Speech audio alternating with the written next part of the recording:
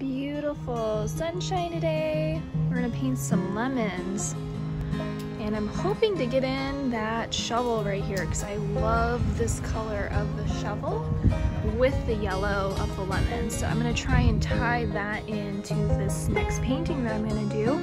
We are officially in sunny California. You can tell it is a gorgeous day out.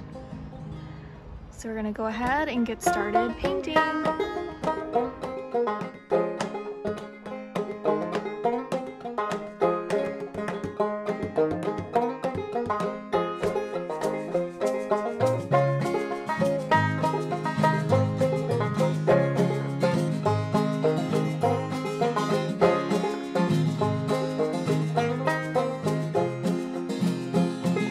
I ain't got no use